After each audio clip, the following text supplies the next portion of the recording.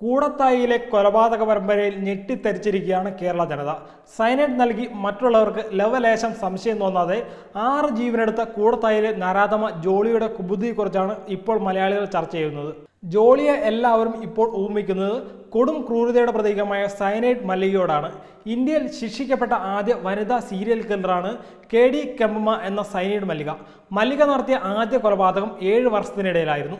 എട്ടാം വർഷത്തിലെ അവസാന മൂന്ന് മാസത്തിനിടെയാണ് ശേഷിച്ച അഞ്ചു പേരെയും മല്ലിക കൊന്നത്. ഭക്തിയുടെ പേരിൽ നടത്തിയ കൊലപാതക പരമ്പര പോലീസ് തെളിയിക്കാനും കാരണം ഒന്നിനു പുറകെ ഒന്നായി കൊലപാതകങ്ങൾ ആവർത്തിച്ചതായിരുന്നു.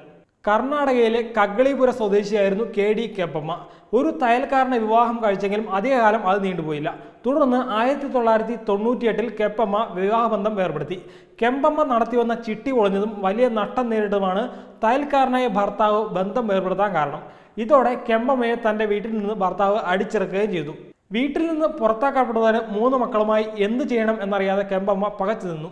അതോടെ പല ജോലികളും ചെയ്യാൻ അവർ നിർബന്ധിയായി. ഒരു വീട്ടിൽ പുറംപണിക്കായി പോയ അവർ അതിനു പുറമെ ഒരു തട്ടാന്റെ സഹായിയായും ജോലിക്ക് ചേർന്നു.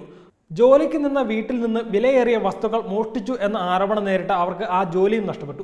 ജോലി പോയെങ്കിലും കൂടുതൽ വലിയ മോഷണം നടത്താനുള്ള പദ്ധതികൾ ഇതോടെ കെമ്പമ്മ ആസൂത്രണം ചെയ്തു തുടങ്ങി.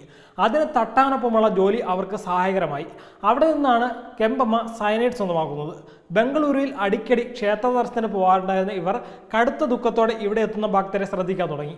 കടുത്ത വിശ്വാസിയാണ് താനെന്ന് അവിടെ വരുന്നവരെ പറഞ്ഞു ധരിപ്പിച്ച് ദുഃഖിതരായ സ്ത്രീകളെ തന്റെ വരുതിയിലാക്കുകയായിരുന്നു കെമ്പമ്മയുടെ ലക്ഷ്യം.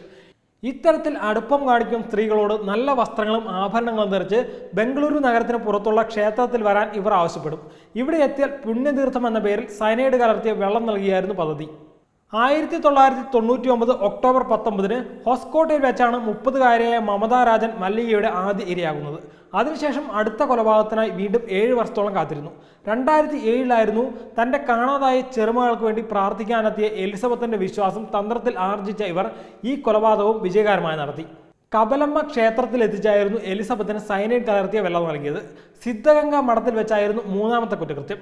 അറുപതുകാരിയായ യശോദമ്മയെയാണ് കൊലപ്പെടുത്തിയത്. ആസ്മ രോഗത്തിൽ നിന്ന് മുക്തി വാഗ്ദാനം ചെയ്താണ് യശോദമ്മയ്ക്ക് വെള്ളം നൽകിയത്. ഭക്തിഗാനങ്ങൾ പാടണം എന്ന് ആഗ്രഹിച്ചു നടന്ന മുനിയമ്മ എന്ന വയോധികയായിരുന്നു നാലാമത്തെ ഇര. മധുർ വൈദ്യനാഥപുരിയിലാണ് അഞ്ചാമത്തെ ഇരയായ പിള്ളമ്മയെ കൊലപ്പെടുത്തിയത്.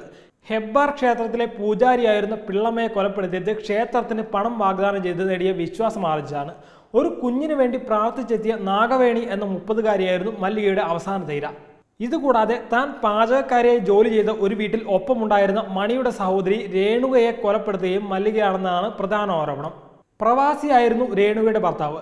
നാട്ടിലെത്തിയപ്പോൾ രേണുക വീട്ടിലില്ലായിരുന്നു. ഇതോടെ ഭാര്യയെ കാണാതായതായി ഇയാൾ പോലീസിൽ പരാതിപ്പെട്ടു. രേണുകയും മല്ലികയും തമ്മിലുള്ള സൗഹൃദം നന്നായി അറിയാവുന്ന മണി മല്ലികയ്ക്കെതിരെ പോലീസ് പരാതി നൽകുകയും ചെയ്തു. മോഷ്ടിച്ച ആഭരണങ്ങൾ വിൽക്കാൻ ശ്രമിക്കുന്നതിനിടെ രണ്ടായിരത്തി എട്ട് ഡിസംബർ മുപ്പതിന് ഒരു ബസ് സ്റ്റാൻഡിൽ വെച്ചാണ് സൈനൻ മല്ലികയെ പോലീസ് പിടികൂടിയത്. ചോദ്യം ചെയ്യലിനിടെ ഇവർ കുറ്റകൃത്യങ്ങൾ ഏറ്റുപറയുകയും ചെയ്തു. മുനിയമ്മയുടെ കൊലപാതകത്തിൽ മല്ലികയ്ക്ക് വധശിക്ഷയാണ് കോടതി വിധിച്ചത്. നാഗവേണിയുടെ കൊലപാതകത്തിൽ ആദ്യം വധശിക്ഷ വിധിച്ചെങ്കിലും പിന്നീട് മേൽക്കോടതി ഇത് ജീവപര്യന്തമായി കുറയ്ക്കുകയും ചെയ്തു. കൂടത്തായിയിലെ ജോളിയെ സൈനൈഡ് മലിക എന്ന വനിതാ സീരിയൽ കില്ലറോട് ഊമിക്കുകയാണ് ഇപ്പോൾ കുറ്റാന്വേഷണ ലോകം. വെബ് ഡെസ്ക് തത്വമേ ന്യൂസ്.